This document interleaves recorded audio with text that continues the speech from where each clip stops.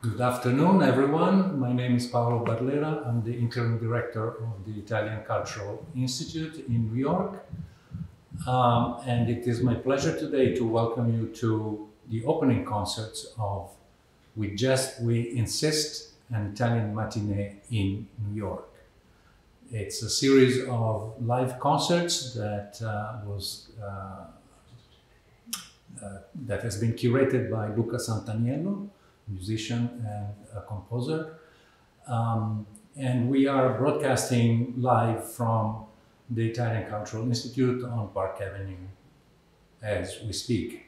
Um, the idea came to us because there are many Italian and Italian American musicians in, in, living and working in New York, and we thought it would be great to take advantage of this beautiful situation.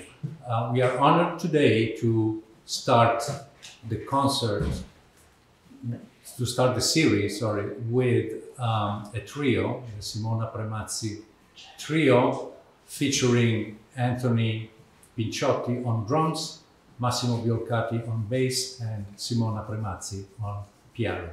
And with this, I leave the floor to the trio, and I hope you enjoy the show. Thank you.